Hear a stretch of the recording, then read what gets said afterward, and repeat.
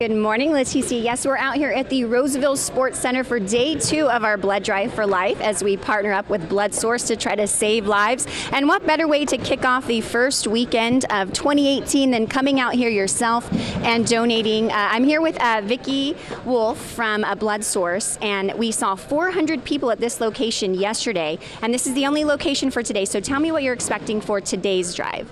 Well, we're expecting a great turnout here today. We look forward to welcoming people from 9 to 5.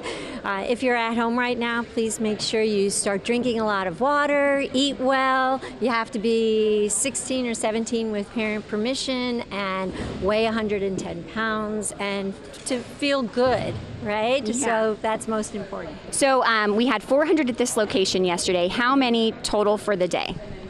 Total for the day was. Uh, 649.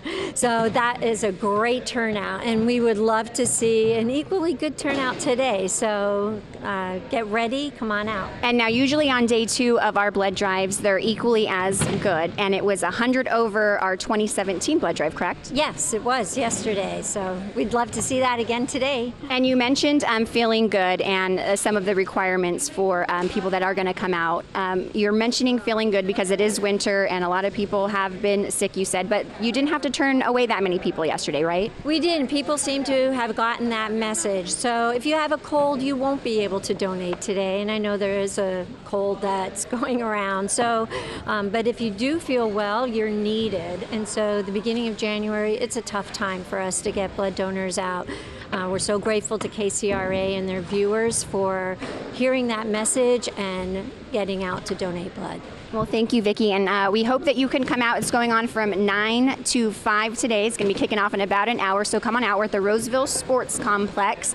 And um, not only are you going to be saving lives today, but also every pint of blood that's donated, a monetary value is going to be going to Make-A-Wish. So it's kind of a twofer to kick off the start of the new year. Not only will you be uh, saving a life through uh, your blood donation, but also that monetary value that's going to be going towards Make-A-Wish, so you can help grant someone's wish also.